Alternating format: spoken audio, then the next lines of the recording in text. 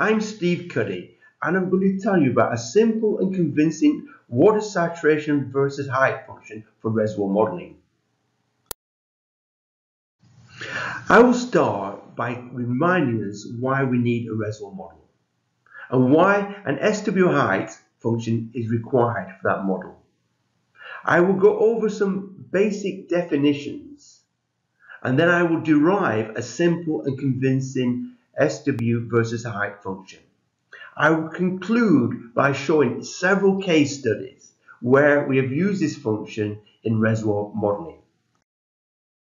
Why do we need a reservoir model? A reservoir model is like a Lego construction. It has cells where the colour represent porosity, permeability or lithofacies type. The lines are wells where the log and core data are collected. This is very limited to compare to the size of the 3D model.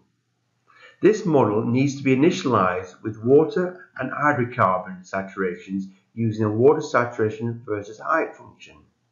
The SW height function should also give the fluid contacts and an understanding of net reservoir. The model needs an SW versus height function to initialize the model. This function tells us how the water saturation varies as a function of height above the free water level and how the formation porosity is divided between hydrocarbon and water.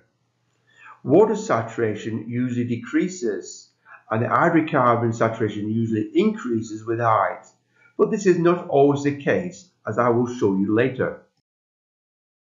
A saturation height function requires that three independent sources of fluid data are consistent.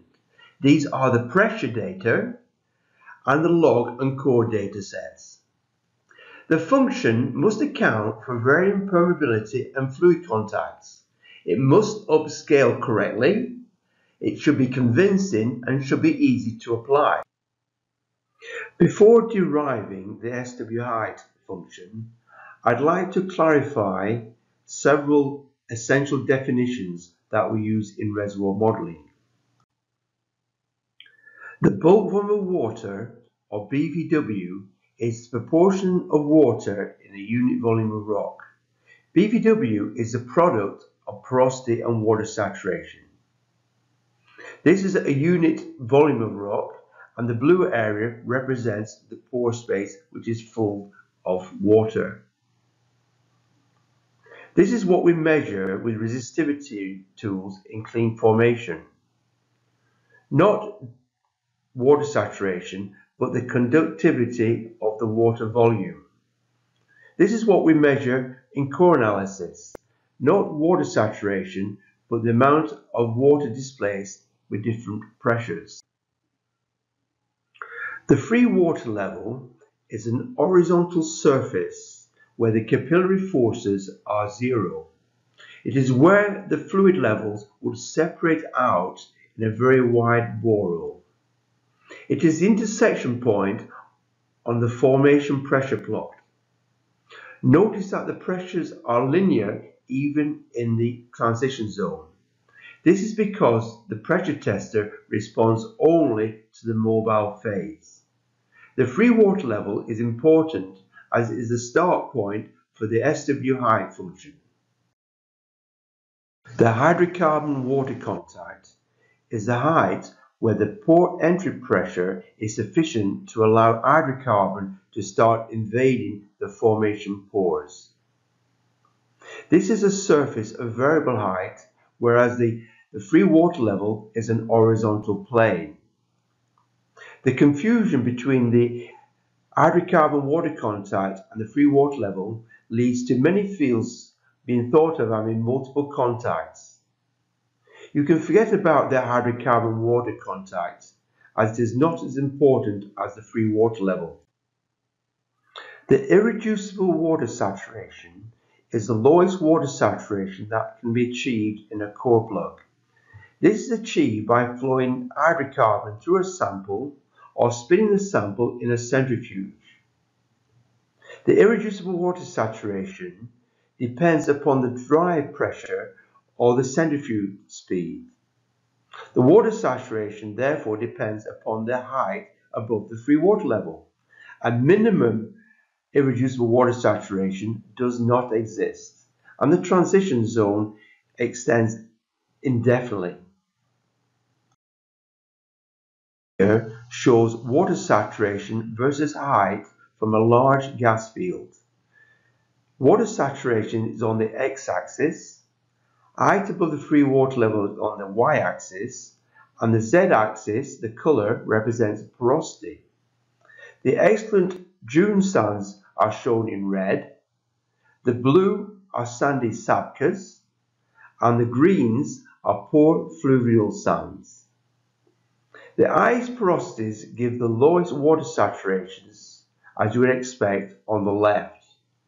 Where the rock is less than 12 porosity units, the formation can be fully water saturated for hundreds of feet above the free water level as shown on the right. Notice there is considerable scatter in the data. Deriving these functions by porosity bands it would therefore be very difficult. Historically, the SW height function was derived by porosity band. These are actually SW height curves which were derived and presented to the UK government as part of a field development plan. The ice porosity band is towards the bottom and to the left. The lowest porosities are to the upper right. These curves are mathematically and visually unconvincing as they cross. There are several problems with classical SWI functions. As I've already mentioned, they are visually and mathematically unconvincing as the curves tend to cross. But more so, you need sufficient data in each band to be able to fit the curve. Also, each curve starts at the pore entry pressure as shown on the right and these points are very difficult to pick. We need a mathematical function to describe the data shown on this plot. This is a serious challenge because of the shotgun spread in the data as shown. But let's see what happens when we change the x-axis, the water saturation, to the bulk volume of water. And I'll show you this on the next slide. This is the same data set, but replacing water saturation by BVW. The different lithofacies, shown by the different porosities and different colours, collapse into a single function. So BVW against height is a single function which can be described mathematically very simply. This function is independent of porosity and rock quality. The of water is independent of rock properties, and this can be easily verified by using a cross plot. We cross plot the volume water for all the wells against the height above the free water level, and we colour the, the z-axis by facies type, zone number, porosity, permeability, grain size, etc. And as the data is completely mixed up and doesn't uh, drop out to be different bands, therefore we can conclude that the BVW is independent of these properties. Fractals are very useful in reservoir modelling. Let me remind you what fractals are. Fractals are a simple recurring pattern, as shown here. As you zoom in, or out, you'll observe the same pattern. Fractals are very useful as they can be described mathematically by a simple recurring algorithm. We see fractals everywhere. We see fractals on the small scale. As shown here, snowflakes are a simple recurring pattern. We see fractals everywhere in plants. The example on the right here is a Roman cauliflower.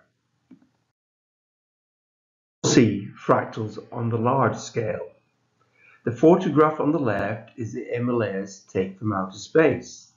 The main and the smaller mountain ridges show the same pattern. On the right, there are river channels. I took this photograph myself when I was went to Iraq, Basra, to give this presentation. We even see fractals on the largest scale possible, the cosmos. This is from a chapter in Professor Brian Cox's recent book dedicated to fractals. The cosmic microwave background is the radiation left over from the Big Bang. The features in the cosmic microwave background are acoustic oscillations in the plasma that existed shortly after the Big Bang. This background is scale invariant. If we zoom in on the patterns, they become indistinguishable. The patterns themselves give rise to the galactic superclusters, and these galactic superclusters themselves are built up from galaxies. The universe is fractal all the way down. Fractal is a never-ending pattern. Fractals are infinitely complex patterns that look the same on every scale. They are created by a simple repeating process. The name was coined by Benoit Mandelbrot. Other names for fractals are self-similarity and scale invariance. Fractals are objects where the parts are similar to the whole except for scale. Nature uses simple repeating processes to create complex plants like, like a tree. Let's take this example here from this cartoon. Notice the structure of the tree from a distance. As we get closer, the main branches are the same structure. And as we get closer still, the smaller branches and the twigs show an identical pattern. Nature can create something beautiful and complex by a simple repeating process. How does it do that? Well, the DNA is very simple for the tree. It says, grow, grow a bit, then branch, grow a bit more and branch. And by that simple instruction can design such a beautiful tree. They are mathematically simple. We can verify that something is fractal by using a simple cross plot. Let me show an example here. The question is, how long is the coastline of Britain? The answer is that it depends on how closely you look at it and how long your measuring stick is. As your ruler gets shorter, the coastline you measure gets longer. When we use a large ruler, we get a poor approximation as shown in purple on the left, and a coastline length of n equals 9. As the ruler length shrinks, the measured coastline n increases. A long ruler sees the estuaries, a shorter ruler sees the rivers. This continues all the way down to the sand grains on the beach.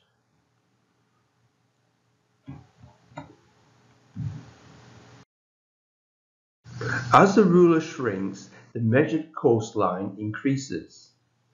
The coastline is fractal because the relationship between r and n, the ruler size and the coastline length, is linear when plotted on these log-log scales. And the fractal dimension is the gradient of this line. Let us look at the electrical properties of water.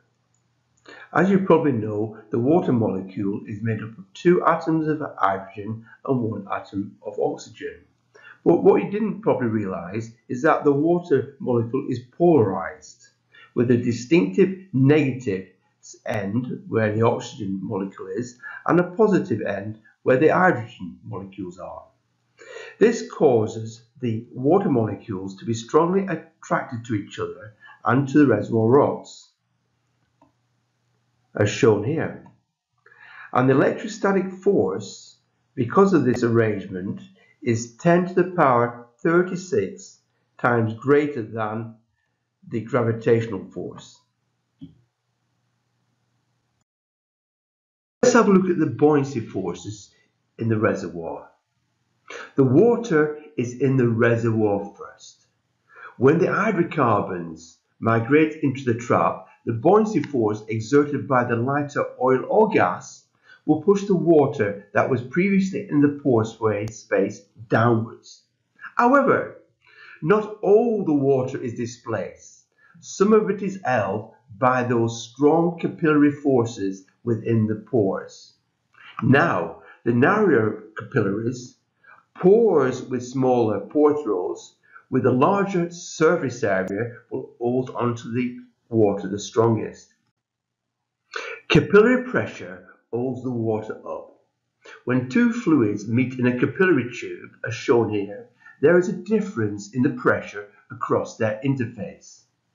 This capillary pressure is caused by the preferential wetting of the capillary walls by the water and gives rise to the familiar curved meniscus shape and causes the water to rise up the capillary. Now the capillary pressure is associated with the pore size. The smallest pores or pore throats hold onto the most water. Consequently, hydrocarbon requires more pressure to enter the smaller pores. The height of the water in a capillary depends upon the capillary pressure, which is determined by the radius of the capillary and the fluid types, as shown by this equation here. As the capillary forces are holding the water up, gravity is trying to pull the water down. The force of gravity on a column of water is determined by the difference between the water and oil densities and is called the buoyancy pressure and it's shown by this equation here. The buoyancy pressure is clearly depends upon the difference between these two densities. The water at a given height in the reservoir is determined by the balance between the capillary forces holding the water up and the force of gravity pulling the water down. The oil above the free water level is the mobile phase and only enters the leftover space in the reservoir pores that the water doesn't require. Consequently, at a given part of the pore space within the reservoir will contain both oil and water. And as you know, the percentage of water in the pore space is defined as the water saturation or SW. The capillary bound water comprises of a continuous column of water within the oil leg with an hydrostatic pressure gradient as shown by the dotted curve here which extends below the free water level. The oil is located in the remaining pore space and it's also continuous phase but will have a lower pressure gradient as shown by this solid curve here. Although the oil and water can coexist within the same localized volume of rock, the pressures acting on the two fluids are different. The intersection of the pressure gradients from the oil and the water gives you the free water level. Now it's important to remember the formation pressure tester only sees the mobile phase. The buoyancy pressure, which is the difference in pressure between the oil and water phases, increases with height above the free water level, as shown here. As the buoyancy pressure increases with the height above the free water level, the oil phase will displace more water from the increasingly smaller pore volumes. Therefore, water saturation will tend to de decrease with height above the free water level but I will show you an example where this is not the case. Prove reservoir rocks are fractal by two methods. The first one I'm going to show you here is in the laboratory. Thin sections of reservoir rock are imaged using a scanning electron microscope and this is shown on the left here. The white areas are the porosity. So it's very easy to calculate the porosity by counting the number of pixels associated with these white squares. But then we have the same problem as we have with the uh, coastline of Great Britain. As we have smaller and smaller pixels, we'll count more and more porosity. Now what we do, we plot the pixel size against the porosity. And as the pixel size gets smaller, we see smaller and smaller pores and the porosity gets greater. But what you see is that there is a relationship between pixel size and porosity, which is a straight line. And this proves that reservoir rocks are fractal in nature. Are very useful in reservoir modeling. As I've shown you, many complex objects can be described by fractals. And fractals are a mathematically simple way of describing complexity, especially in hydrocarbon reservoirs. The rock pore space can be described by this fractal formula, which relates the porosity to the radius of the rock capillaries and the fractal dimension. This can be converted into our BVW SWI function. The, the details of this are in this paper shown below. This is called the BVW or fractal function. This is shown here. It relates the bulk volume of water, which is porosity multiplied by porosity, to, to the height above the free water level, and two constants. This is derived from the fractal nature of reservoir rocks, as described in the paper, and it is based upon the bulk volume of water and not water saturation. It is independent of facies type, porosity and permeability, as I showed you in those previous slides, and just two parameters completely describe your reservoir. The BVW function is easily calculated. BVW is a function of the height above the free water level and two constants. Now, if we take the logarithm of both sides of this equation, we get a linear equation. And this is best shown using this cross plot, where plotted the of water against height for several different fields. This is actual core data. And what you notice is on this log log scale, the BVW function is a straight line. So therefore, even though you've taken hundreds of measurements in the reservoir, you only need two valid points to calculate the BVW function. And this gives you the A and the B. What you also notice is that the B, which is a gradient of these lines, is the same.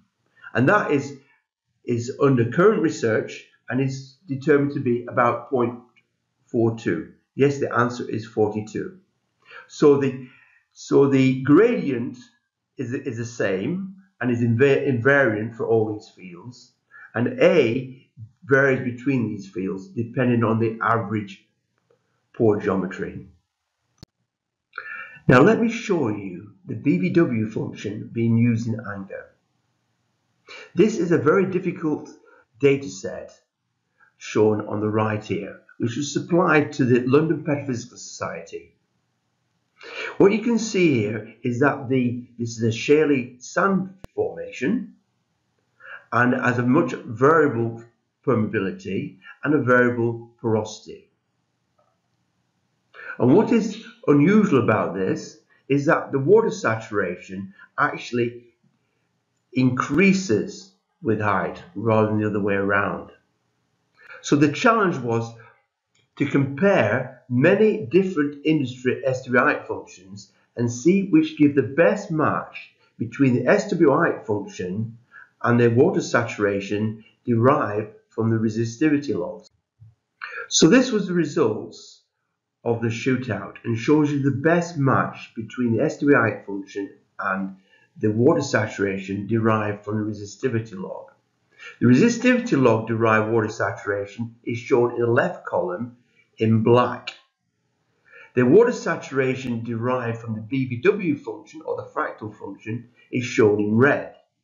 And there is a very good match throughout all the different lithofacies between the two water saturations. Permeability is not a required input to this prediction and it's defined by only two parameters, A and B. So the question is, if we can predict water saturation with this, this accuracy, do we always need resistivity logs? now what I mean by that, if we had a case where we had a good function derived from earlier wells in a field, and a later well had a resistivity log which failed, would we rerun the resistivity log in that well if we could predict water saturation as well as this? So what does the BVW function tell us about the reservoir? It says BVW is a function of the height above the free water level and nothing else. So let's just look at the reservoir model here. On the left hand side we've got a unit volume of rock at 20 porosity units. On the right, at the same height above the free water level, we've got a unit volume of rock of 10 porosity units. Now what the function is telling us is that the BVW is the same for the 20 PU rock and the 10 P porosity rock. And the hydrocarbon can only enter the porosity which the water doesn't want. So this gives us actually the net reservoir cutoff. In this case, the cutoff is 9 porosity units. How do we know the BVW function predicts the correct water saturation? We can do this as shown here by comparison with core. In this section here, we have got water saturation derived from core, as shown as the blue dots. Water saturation derived from resistivity log, as shown as the black curve. And the red curve shows the SWs derived from the BVW function.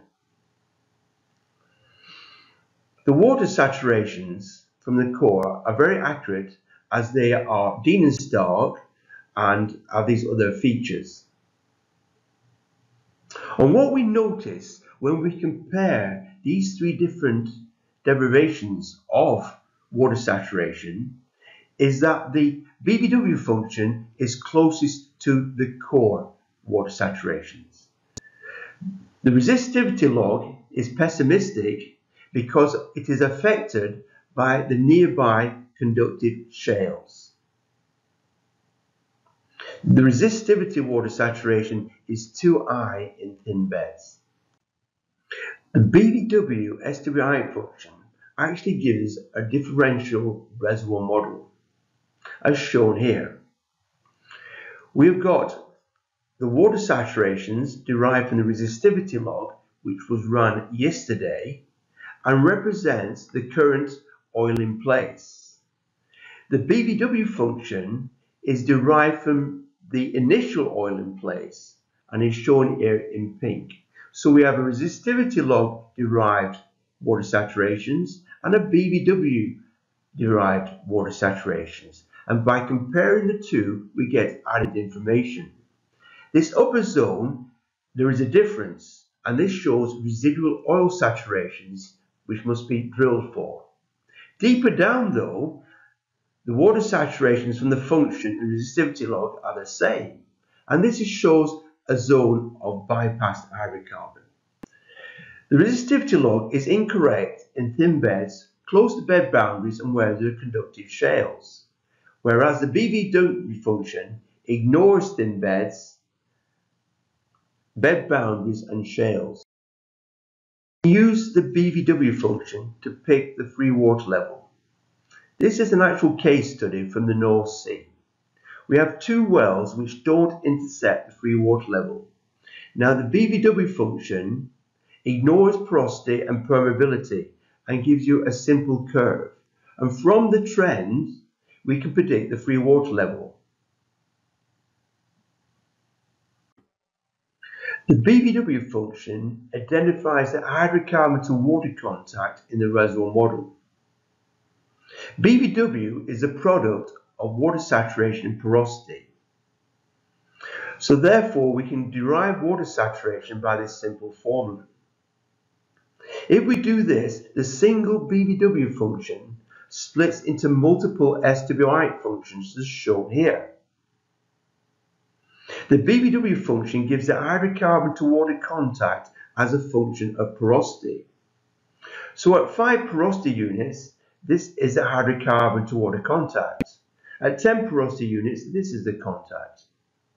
And what you notice here is that in low porosity formation, it can be fully water saturated for hundreds of feet above the free water level. The BVW function comes with an assessment of its own uncertainty. Partial differentiation of the BVW function allows us to derive the upside, the P10, the downside, the P90, and the most likely P50 BVW functions as shown here. This uncertainty then includes the uncertainty in porosity, resistivity, and scale parameters. Details of this equation are shown in the paper. With three functions, we're not only able to calculate the most likely hydrocarbon in the reservoir, but we're able to calculate the upside and downside hydrocarbon in place. The BVW function can be used for depth control. Depth is the most important petrophysical measurement. True vertical depth subsea can be out by 30 feet due to survey errors and measurement errors. Use the free water level, which is an horizontal plane of zero capillary pressure, can be used to normalize the depths in all the wells, as shown here. In a recent case study, recalibration of well depths based on the free water level changed the field's equity between oil, two oil companies by 3%.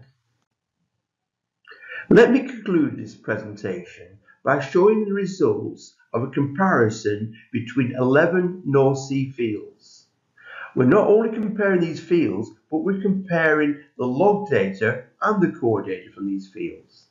These fields are very different. Some are gas, some are oil, some are gas condensate. They're very different geological ages and have a, a variety of pore characteristics as shown on this cross plot. It shows you the results of this study. We're going to compare the transition zones from these 11 fields as shown here on the right by the different colours. The best transition zones are on the left. These give the lowest water saturation for the same porosity. Now the shape of the transition zone is related to pore geometry rather than porosity or permeability alone. And this is defined by the, the parameter A. Let's compare the log and core derived BVW functions. The BVW water saturation height functions are, are linear on log-log scales. On the left, we've got the functions from the log data. This represents the data from the free water level to the top of the formation. On the right, we've got the BVW functions from each of the core plugs. The log and core functions are the same irrespective of whether they're determined from log data or core data. Therefore, these plots can be used as a quality control of the core data and the log data. Because the functions are the same on the small scale, the core plug scale, as a large scale represents the complete reservoir, this confirms the fractal distribution of the reservoir capillaries. In conclusion, the BVW SWI function is derived from the fractal nature of the reservoir rocks. It can be derived from the electrical logs or the core data by a simple regression of a log-log plot. The logs and core give the same function, consequently they QC each other, and this confirms the fractal distribution of the reservoir capillaries. This function defines the net reservoir cutoff and the shape of the transition zone. It determines the free water level and the hydrocarbon to water contact. And it is independent of rock characteristics such as facies type, zone type, porosity, and permeability. You can forget about bed boundary effects and shaliness, and therefore it is a simple implementation in your reservoir. The key conclusion is that we should forget about water saturation and we should think about the boil water, as shown here. If we move from water saturation to boil water, we get a simple SWI function. I am very happy to answer questions and provide free consultancy on SWI functions. Please contact me via the SPWLA or via my email address as shown here.